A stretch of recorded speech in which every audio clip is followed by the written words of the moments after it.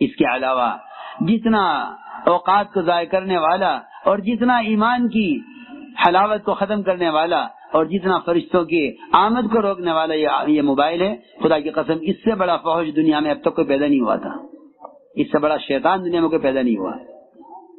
یہ سو شیطانوں کا ایک شیطان ہے جس سے جماعت میں ساتھی لے کر پھرتے ہیں اور سمجھتے ہیں کہ ہم بیانات ٹیپ کر کے پہنچا رہے ہیں، دین کی خدمت کر رہے ہیں۔ دین کی خدمت نہیں کر رہے، دین کے ساتھ کھیل کر رہے ہیں۔ یہ دین کے ساتھ کھیل کر رہے ہیں۔ یہ خیانت ہے۔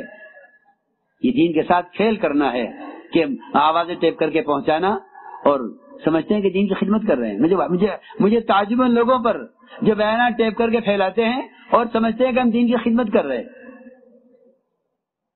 نہیں، یہ خدمت نہیں ہے۔ یہ خدمت نہیں ہے، بلکہ دین کی باتوں کو لے کر خود پھرو، یہ دین کی خدمت ہے۔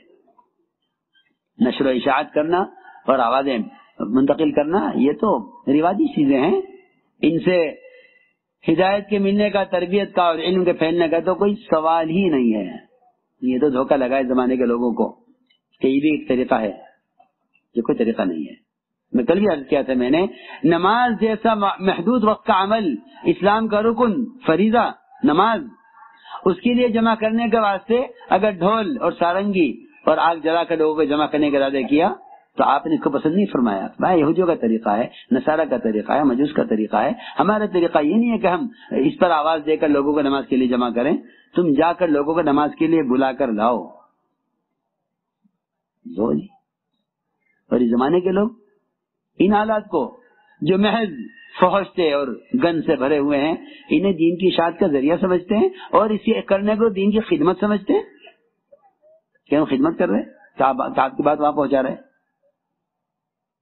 ہمیں ان لوگوں سے بالکل اتفاق نہیں ہے اور ان لوگوں کے اس کام سے بالکل خوشی نہیں ہے۔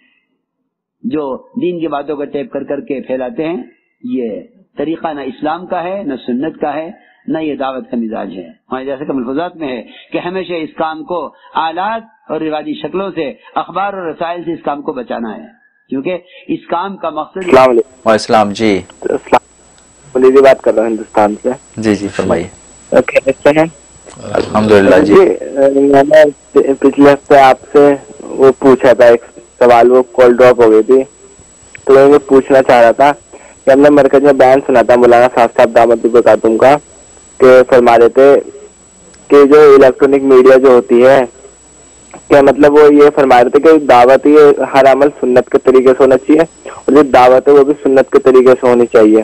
اور جیسے آج کے ٹائم پہ کچھ لوگ ہیں جو مطلب یہ ویڈیو ریکارڈ کر کے آڈیو ریکارڈ کر کے اور آگے مطلب بھیجنے کو ثواب کا کام سمجھتے ہیں کہ حالانکہ یہ ثواب کا کام نہیں اور بلکہ یہ گناہ ہے۔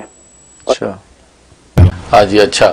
لاسٹ ٹائم آپ نے پوچھا تھا اس کا مطلب یہ ہے اصل میں مولانا ساز صاحب جو بات کر رہے ہیں وہ تو تربیت کے نقطہ نظر سے بات کر رہے ہیں اصل میں اس بات کو سمجھنا چاہیے ایک تعلیم ہے ایک تربیت ہے۔ تعلیم جو ہوتا ہے، وہ فتوے کی روشنی میں مفتی، مختلف فتوا جاری کرتا ہے اور مختلف گنجائشیں دیتا ہے کہ اس کی بھی گنجائش ہے، یہ بھی جائز ہے۔ تو یہ ایک فتویٰ ہوتا ہے۔ اور ایک ہوتی تربیت۔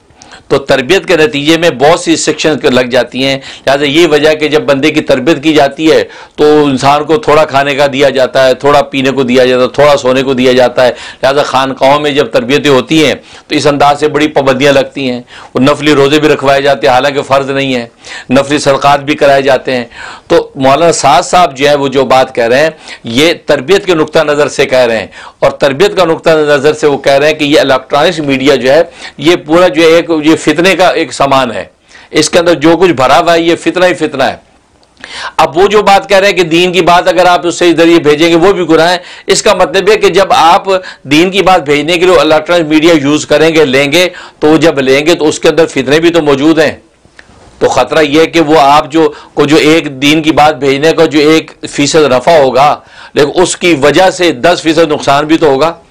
اس پہ گندی چیزیں بھی آئیں گی، انسان کا نفس، شیطان اس کا غلبے کا شکار ہوگا۔ لہذا نفس و شیطان پہ غلبے کی جو محنت ہے وہ رک جائے گی۔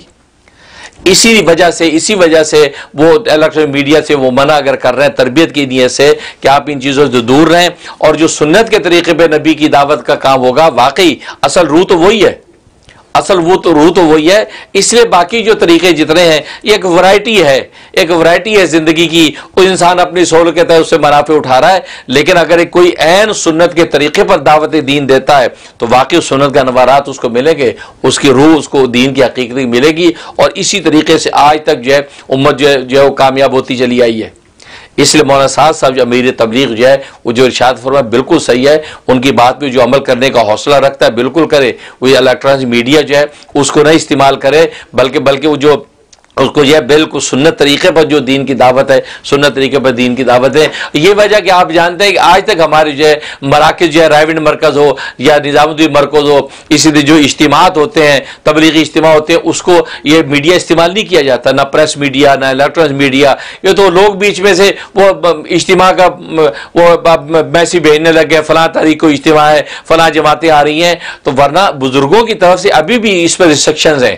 ابھی بھی وہ اپنے اس میڈیا کو یوز نہیں کرتے، وہ وربلی سینہ بسینہ سینہ بسینہ پیغام چلتا ہے اور پورے عالم میں پھیل جاتا ہے کہ فلاں جی اجتماع ہو رہا ہے۔ پورے عالم میں پھیل جاتا ہے کہ فلاں جگہ جو ہے دعوت کے لیے جماعت آ رہی ہے، مرکز کی جماعت، بزرگوں کی جماعت آ رہی ہے، فلاں جگہ علماء کو جوڑا ہے، سینہ بسینہ وربلی اور یہ سنت طریقہ ہے اور اصل وہی آج بھی چل رہا ہے۔ لیکن یہ لوگ جو یوز کرتے ہیں، یہ تو وہ لوگ یوز کر رہے ہیں کہ جو ظاہر ہے جو مرکز کے جو اپوائنٹ کیے ہوئے لوگ نہیں ہیں، تو وہ اگر اس کو یوز کرتے ہیں، تو وہ ان کی مسٹیک ہے۔